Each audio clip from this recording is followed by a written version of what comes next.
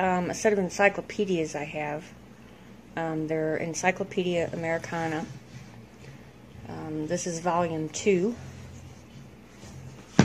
It's the A's. What we're going to do is look at what it says about Antarctica.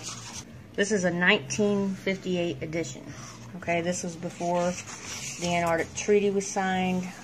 They did flights, and it says these flights prove the inland areas to be featureless in character, with a dome 13,000 feet high at about latitude 80 degrees south, longitude 90 degrees east.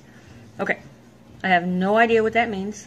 There seems to be only one definition for the word dome. Um, anyway, if uh, anybody has any idea what this means, can explain this to me, I would appreciate it. Okay, thanks.